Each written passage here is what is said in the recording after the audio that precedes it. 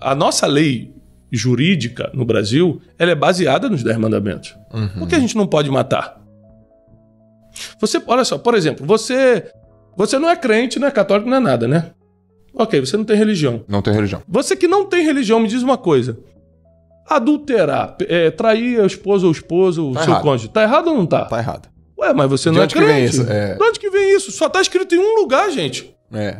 Só está escrito num lugar. Mentir é feio ou é bonito? É feio. É, na Bíblia diz que é pecado, ou seja, num lugar, é um lugar, você indo à igreja ou não, acreditando ou não, é essa Bíblia, é esse livro que rege todo o padrão ético e moral da gente. Uhum. A gente diz o que é certo e o que é errado pelo que está escrito. Você pode até não querer a igreja, é uma opção sua. Sim. Mas que é dali que você tira suas ideias do que é certo e errado, é dali. E ponto final. E outra coisa, você pode nunca ter vivido em sociedade. Você sabe que bater nos outros está errado. Uhum. Você sabe que mentir não é bom. É, é porque os princípios, a, a Bíblia fala sobre isso, os princípios estão dentro de você.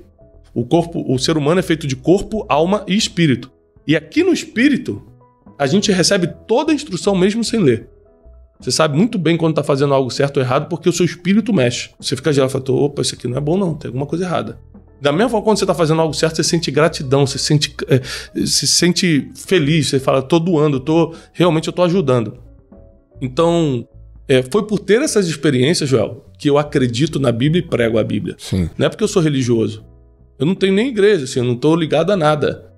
É porque eu realmente passei pelas experiências, provei um monte de coisa e não tem nada que me trouxe mais alegria, satisfação, autorrealização. Não teve nada que fez mais sentido do que a Bíblia para mim. E você é super conectado, né? Você contou uma história até da tua vinda aqui pra Alphaville, né? Que você se conectou, que você tem a intuição muito forte, a tua relação muito forte. Eu quero saber o seguinte, como é que então você diferencia isso que você falou agora de alma, você falou é, corpo, alma e espírito. Como é que você diferencia alma de espírito? Como é que a turma pode entender isso? Como é que ela se conecta? É bem simples, olha só. A alma é, do ser humano é onde estão nossas emoções, nossos sentimentos, nossa razão, nosso intelecto. Inclusive, quando se fala de vida após a morte, o que vai ser julgado por Deus é a alma. O corpo apodrece, o espírito volta para Deus, todo espírito volta para Deus. Que é, o espírito é tipo o meio de comunicação que ele botou no Joel. Ele botou um espírito em você para ele poder falar contigo. Ok. Mas o Joel é a alma, não é nem o corpo nem, nem o espírito. Seu intelecto, suas ideias, suas memórias, seus sentimentos, suas emoções é a tua alma. Uhum. E é isso que é julgado. Então, por isso que eu falo muito de inteligência emocional. Quando eu entendi que a gente vai ser julgado pela nossa alma, então eu tenho que dominar minhas emoções, ué. Certo. E daí eu comecei a estudar violentamente vida emocional. Primeiro, porque quando eu quebrei, o que foi mais afetado foi minha vida profissional, é, minha vida emocional. Eu, eu percebi que eu era um cara muito doente nessa área, era nervoso, impaciente, injusto, com um monte de coisa, tudo ligado a trauma do passado, é, complexos de inferioridade que eu tinha terríveis, complexos de aceitação, fazer qualquer coisa para ser aceito. Aham. E, e eu descobri isso quando eu quebrei, quando veio tudo à tona. Quando todos esses complexos vieram para fora. Eu falei, opa, o que, que adianta então eu estar fortalecendo meu espírito se minha alma está quebrada? Tá. O que, que adianta eu ir pra academia e fortalecer meu corpo se a minha alma tá falindo? Aham. E aí eu comecei a valorizar a inteligência emocional, sem abrir mão da espiritualidade, Legal. tá? Agora, quando você fortalece o espírito, que nada mais é do que o ponto de comunicação de Deus em você, ou seja, quando como é que fortalece o espírito? Duas formas. Ouvindo, a, a Bíblia diz que a fé vem pelo ouvir e ouvir a palavra de Deus. Quanto mais você ouvir a palavra de Deus, mais fé você vai ter. Uhum. Simples. E também orando. A oração é o ponto de contato entre você e o sobrenatural, entre você e o impossível. Né? O caminho mais curto entre você e Deus é a oração. Então, se você começa a falar com Deus da tua forma, não tem técnica para orar, então, da sua forma, você vai desenvolver uma sensibilidade. Então, eu já tomei várias decisões na vida que me. Gente, você pode trabalhar 30 anos e ter o resultado de um cara que orou uma vez. Porque, por exemplo, como você falou de Cara, alfabeto. mas isso não é injusto? Não é. Eu vou te falar por que não é. Ó, eu tava no Rio. Tá. Morei a vida toda no Rio de Janeiro. E aí. É... Pô, vamos falar de injustiça? Então, pô, é injusto o negro ter colocado dinheiro na bolsa e ter ganho dinheiro e eu não?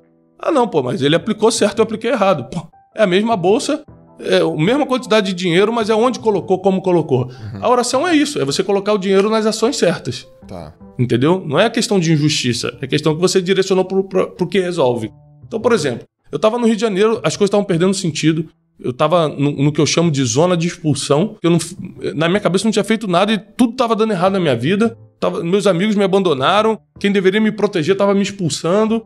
E eu tava, perdi a empresa, perdi tudo. E eu, eu não sabia o que fazer. E aí eu fui convidado para dar uma, um, um curso aqui em, em, em Alphaville, na época que eu não dava cursos. Eu estava quebrado, começando a sonhar em escrever livro e dar curso. E aí chegou aqui, eu, eu entrei, isso foi em 2014 para 2015, 2014.